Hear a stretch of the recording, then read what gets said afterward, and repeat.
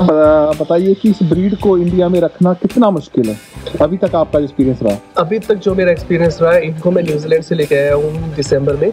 और न्यूजीलैंड एक ठंडी कंट्री है। तो मेरे को भी कंसर्न था। शेडिंग इनके साल में दो बार, वैसे भी नॉर्मली होती है। और वो जेनेटिकली भी डिपेंड करता है। मेरा हीरो हाई शेडर है। इसकी जब मैंने जेनेटिक टेस्ट कराया था, उसमें भी आई थी। तारा इज़ नॉर्मल शेडर वो कम शेड करती है। वो प्रॉब्ली वन ईयर करती है कई बार। थोड़ा बॉर्डर कोली की हिस्ट्री के बारे में बताइए सर देखिए बॉर्डर कोली जो नाम पड़ा इस ब्रीड का वो नाम पड़ा क्योंकि ये ब्रीड हुई थी एटीन सेंचुरी में स्कॉटलैंड में डेवलप सिक्योरिटी की साइड से देखिए जब भी किसी के घर में डॉग होता है तो एक बार तो इंसान घुसने के पहले सोचता ही है कि हम्म। मेरे को जाना है या नहीं जाना है। बट ये दोनों बहुत फ्रेंडली हैं। शुरू से ही क्योंकि इनका सोशलाइजेशन जो है वो हमने न्यूजीलैंड में ऑलरेडी बहुत सारे डॉग्स पे कराया था तो एग्रेसिव तो ये दोनों नहीं इंडिया में अपार्टमेंट ये लाइफ में ये थोड़ा सा एक इशू हो जाता है हम्म। तो अगर आपके पास रन अराउंड करने के लिए अलग जगह नहीं है बोर्ड कोली के लिए तो डेफिनेटली इस ब्रीड को कंसिडर ना करें हम्म। और ऐसा कहा जाता है कि फ़र्स्ट अगर आप फ़र्स्ट ओनर हैं पेट्स के लिए तो बॉर्डर कोलीज नहीं लें। लेकिन हमारा भी ये फ़र्स्ट पेट ही है लेकिन हमने पहले काफ़ी रिसर्च की थी। सर्विस अवेलेबल है। बॉर्डर कोलीज काफ़ी रेयर है इंडिया में बट अगर आपके पास एक फीमेल है तो मैं ये अपना मेल प्रोवाइड कर सकता हूँ। ये शो लाइन का है और इसमें fully papers New Zealand dogs में रजिस्टर्ड हुए और दो चीज़ जो मैं ऐड कर दूँ कि जो बॉर्डर कोलीज है वो जर्मन शेफर्ड की तरह ही डबल कोटेड होते हैं। हम्म। तो कई लोग सोचते हैं कि अगर डॉग का फर लॉन्ग है तो हम्म। गर्मियों में बाल काट देने चाहिए। ऐसा नहीं होता और ये हमें ब्रीडर्स ने ही बताया था जहाँ से हमने लिया। हम्म। और इनका जो कोट है वो गर्मियों में इन्हें ठंड गर्म सॉरी गर्मियों में ठंडा रखने के लिए और ठंडियों में गर्म रखने के लिए काम आता है। तो कभी भी जर्मन शेफर्ड को या कोली को या किसी भी डबल डॉग को पूरी तरह शेव नहीं करना चाहिए।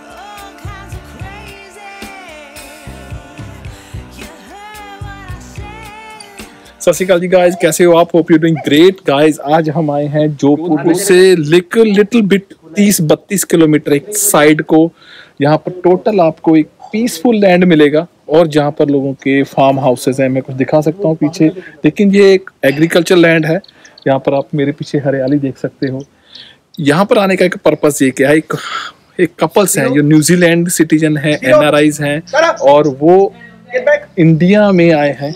और इंडिया में आकर एक नया एक नया इनिशिएटिव कह लो, एक नई तरीके से अपने देश में वापस आकर काम स्टार्ट किया है तो ये वीडियो उनके लिए जो स्पेशल लोग बाहर बहुत बढ़िया समझते हैं कि बाहर बहुत बड़ी ज़िंदगी है। और ये है दो ब्यूटी आप बार बार कह रहे हो कि गाइस बॉर्डर कुलीस तो इनके पास दो हैं। एक नहीं, दो हैं। ये बहुत प्यार करती है आपको। तो 12 साल के बाद ये इंडिया में वापस आए विद फैमिली तो अभी वाइफ भी इनकी अभी आर लकी तो क्योंकि वो पीएचडी हैं लेकिन फिर भी घर का सारा काम तो आज हम मैडम पीएचडी मैडम के हाथ की चाय पीएँगे कॉफ़ी पीएँगे कुछ बन रहा है किचन में वो बाद, बाद में आपको बताएँगे। लेकिन मैं ये वीडियो इसलिए ज़्यादा इंपॉर्टेंट समझता हूँ क्योंकि लोग बहुत लोग कहते हैं कि इंडिया में काम नहीं है। तो ये कुछ ऐसी फैमिली है जिन्होंने वो धारणा को गलत साबित किया। अगर आपके पास एक अच्छा विजन है, अगर आपके पास एक अच्छा मोटिव है, अगर आपके पास एक हमेशा आप चाहते हो कि यू वांट आप अपनी कंट्री में रहना चाहते हो तो यहाँ पर बहुत सारी अपॉर्चुनिटीज़ हैं। ये यहाँ पर आके इन्होंने राजस्थान में लैंड लिया। ये राजस्थान के नहीं है गाइज़ ये जो सिंह साहब हैं, वो पंजाबी हैं और मैडम मिश्रा हैं जो शाह एम पी से हैं यूपी से लेट मी आस्क तो ये वो फैमिली है। तो जो बिना कह लो कि राजस्थान की नहीं है लेकिन यहाँ आकर अपना घर बसाया अपना ये ब्यूटीफुल अभी तो अंडर कंस्ट्रक्शन चल रहा है। तो मैं आपको कुछ का अभी का, का जो भी तैयार हुआ है अभी उसका कुछ व्यू देता हूँ। लेकिन ये वो वीडियो इनके ऊपर ये वीडियो के स्वभाव के ऊपर वीडियो के रख रखाव के ऊपर बॉर्डर कुली गाइस हाँ जी सर नमस्कार जी। नमस्कार। पहले आप अपना दोनों का नाम बताइए प्लीज़ मेरा नाम विशाल है। और मेरा नाम है मीनाक्षी मिश्रा। ओके आपके साथ कौन सी ब्रीड है ये? ये बॉर्डर कोली है सर बॉर्डर कोली गाइस आप बार बार रिक्वेस्ट कर रहे थे ना कि बॉर्डर कोली के बारे में वीडियो दीजिए तो हमें ये दो आ, दो बॉर्डर एक इधर घूमने गया है। क्या नाम है सर पहले इसका? इसका नाम हीरो है। हीरो और दूसरे की फीमेल तारा, तारा। हम प्यार से चीकू कहते हैं। ओ ये ब्यूटीफुल फैमिली कपल्स और ये ब्यूटीफुल इनके दो बेबीज कह लो। तो पहले सर बताइए सर हम हैं आज जयपुर में। जयपुर से थोड़ा दूर राइट तो गाइज़ पहले तो अगर आपके कोई भी सवाल है ना बालों के रिलेटेड गर्मी के रिलेटेड वाली ब्रीड में तो कमेंट में ज़रूर पूछिए तो आपको रिप्लाई सर कर देंगे, जहाँ हमारी टीम कर देगी। तो कुछ अभी मेरे क्वेश्चन है पहले। सर आप बताइए कि इस ब्रीड को इंडिया में रखना कितना मुश्किल है? अभी तक आपका एक्सपीरियंस रहा। अभी तक जो मेरा एक्सपीरियंस रहा है इनको मैं न्यूजीलैंड से लेके आया हूँ दिसंबर में, और न्यूजीलैंड एक ठंडी कंट्री है। तो मेरे को भी कंसर्न था। थोड़ा शुरू में कि अब इंडियन समर आ रही है। हमारे नॉर्थ की तो समर पूरे वर्ल्ड में फ़ेमस है कि काफ़ी हॉट हो जाता है यहाँ हम्म। तो राजस्थान में इनको रखना मेरे को लगा कि चैलेंज होगा। बट मॉर्निंग इवनिंग में मैं इनको बाहर पार्क में लेके जाता था खेलते कूदते थे दोपहर को अपना कुछ ज़्यादा नहीं करते थे कूलर के नीचे कूलर चलता रहता था पंखा उसके नीचे रेस्ट करते थे। और इंडिया में इनको लाने का पहले रीज़न ये भी था कि मैंने ऑस्ट्रेलिया में भी काफ़ी बोर्डर कॉलेज के बारे में पढ़ा था कि बोर्डर कॉलेज ऑस्ट्रेलिया में रहते हैं, देखा था। और अगर वो बोर्डर कॉलेज ऑस्ट्रेलिया में रह रहे हैं और इंडिया जैसा ही हार्श एनवायरनमेंट है वहाँ भी हार्श वेदर गर्मी इतनी हो जाती है और वो काम करते हैं वहाँ पे कैटल्स को कंट्रोल करते हैं, ठीक है, पशु, पशुओं को हर्ट करते हैं ऑस्ट्रेलियन फार्म्स में। तो आप सोचिए कि अगर इतनी गर्मी में वो वहाँ कोप अप कर सकते हैं तो इजीली इंडिया में भी कर ही पाएँगे। तो मेरे को पर्सनली कोई ऐसा चैलेंज नहीं हुआ। गर्मी स्टार्ट होने से पहले इन्होंने शेडिंग की थी। शेडिंग इनके साल में दो बार, वैसे भी नॉर्मली होती है। और वो जेनेटिकली भी डिपेंड करता है। मेरा हीरो हाई शेडर है। इसकी जब मैंने जेनेटिक टेस्ट कराया था, उसमें भी आई थी। तारा इज़ नॉर्मल शेडर वो कम शेड करती है। वो प्रॉब्ली वंस ईयर करती है कई बार। थोड़ा बॉर्डर कुली की हिस्ट्री के बारे में बताइए सर देखिए बॉर्डर कोली जो नाम पड़ा इस ब्रीड का वो नाम पड़ा क्योंकि ये ब्रीड हुई थी 18th सेंचुरी में स्कॉटलैंड में डेवलप इंग्लैंड और स्कॉटलैंड के बॉर्डर पर जब ये डेवलप हुई थी मोस्टली शीप्स को और कैटल्स को कंट्रोल करने के लिए हर्ड करने के लिए तो फॉरन में क्या होता है कि बड़े बड़े फार्म्स होते हैं। बहुत बड़ी बड़ी लैंड होती है तो उसमें ऐसे कैटल्स को खुला छोड़ दिया जाता है सुबह की वो फ़ीड कर सके ना घास वगैरह खाए चरे। और वापस हर्ड करने के लिए एक फार्मर को काफ़ी चैलेंज होता है जैसे ऑस्ट्रेलिया में तो हेलीकॉप्टर से भी किया जाता है हर्डिंग और वापस उनको लाने के लिए। तो इस इन कुछ टाइम तो हेलीकॉप्टर्स भी नहीं थे तो इनको डेवलप किया गया कि ये एक विसल पे या कमांड पे सारी शीप्स को हर्ड करके एक जगह ले आए। यूएस में कनाडा में आजकल कंपटीशंस भी होते हैं उस चीज़ के हर्डिंग कंपटीशंस भी होते हैं। तो वहाँ से ये ब्रीड डेवलप हुई और इंग्लैंड और स्कॉटलैंड के बॉर्डर पे माउंटेन्स पे इस ब्रीड को डेवलप किया गया इसलिए इनका नाम बॉर्डर कॉलिस पड़ा इसलिए इन्हें शीप डॉग्स भी कहते शीप डॉग्स भी बोला जाता है शीप डॉग बेसिकली इनको बोला जाता है। ये मोस्टली कैटल से ज़्यादा शीप को हर्ट करने के लिए काम आते हैं। मैडम आपके यहाँ इतने बिग घर में इतने बड़े लैंड में तो ये कितना आपको हेल्प करते हैं सिक्योरिटी के अगर साइड से बात करूँ तो? सिक्योरिटी की साइड से देखिए जब भी किसी के घर में डॉग होता है तो एक बार तो इंसान घुसने के पहले सोचता ही है कि मेरे को जाना है या नहीं जाना है। बट ये दोनों बहुत फ्रेंडली हैं शुरू से ही क्योंकि इनका सोशलाइजेशन जो है वो हमने न्यूजीलैंड में ऑलरेडी बहुत सारे डॉग से कराया था।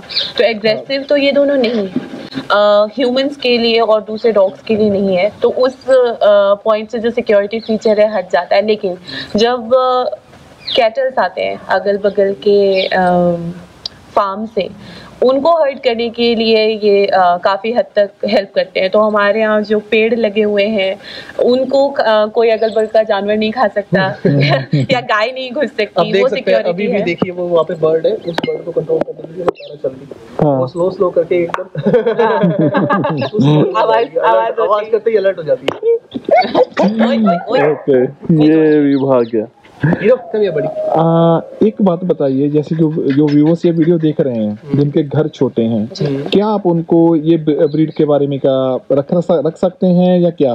कितना बड़ा घर चाहिए? डेफिनेटली नोट डेफिनेटली नोट आपको एक डॉग को आप इमेजिन कर सकते हैं कि भागने के लिए रन अराउंड करने के लिए कितना एरिया चाहिए उतना एरिया आपके पास होना चाहिए बॉर्डर कोलिस रखने के लिए कि ये बहुत ज़्यादा एजाइल और बहुत ज़्यादा एक्टिव ब्रीड है।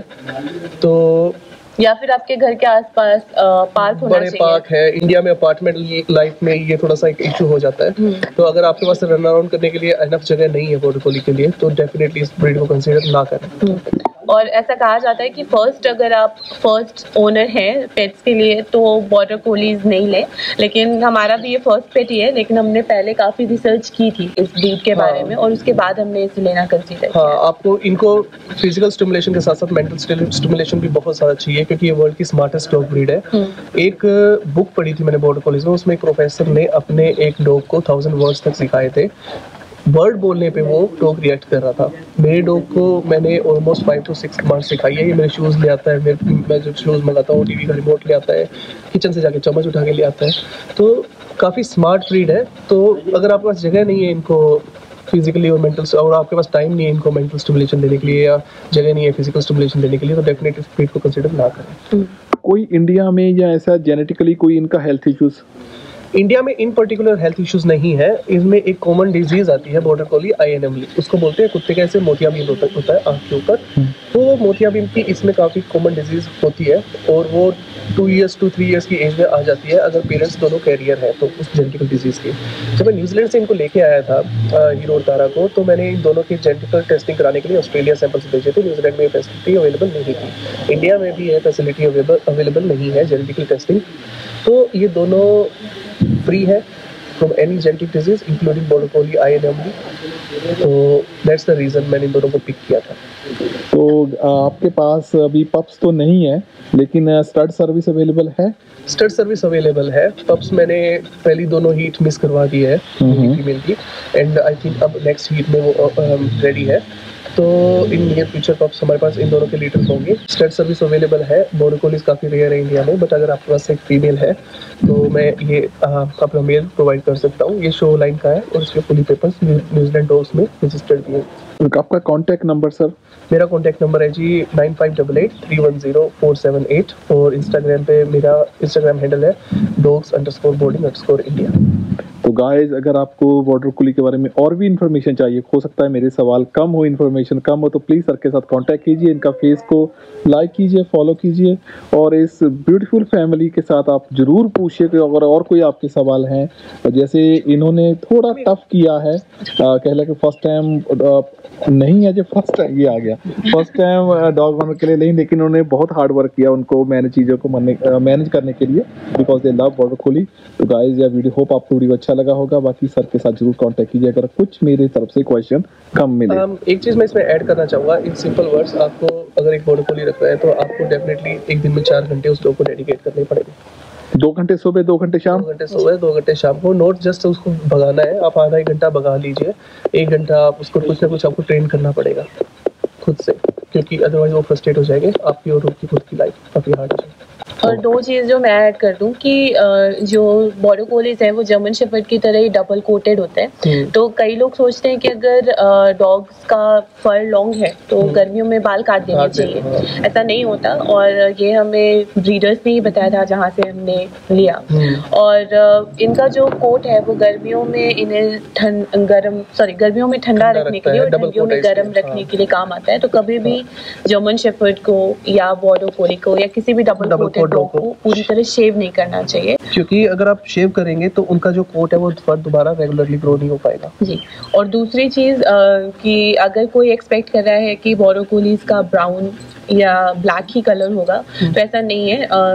हीरो और तारा दोनों के पेरेंट्स अलग अलग कलर से थे और इनके जो लिटर्स हैं वो अलग अलग कलर के हैं हम्म। तो बॉडो कोलीज अराउंड फिफ्टीन अलग अलग कलर में आते हैं तो हम्म। कभी अगर फ्यूचर में इनके पप्स हुए तो हम्म। ज़रूरी नहीं है कि वो ब्लैक या रेड में ही ब्राउन हाँ। में ही हो वो किसी भी कलर में आ सकता है हाँ दिस इज़ एक्चुअली रेड और इनका ब्लू भी होता है ब्लू एंड व्हाइट भी होता है बट मोस्ट कॉमन जो कलर है वो ब्लैक एंड व्हाइट ही होता है Bodo कोलीज Thank you very much, sir, provide for very great information. and God bless you. I ਚੜ੍ਹਦੀ ਕਲਾ ਰੱਖਣਾ ਹੋਵਾ ਸਮਾਂ ਬਹੁਤ ਵਧੀਆ ਹੋਵੇ ਸਰ ਥੈਂਕ ਯੂ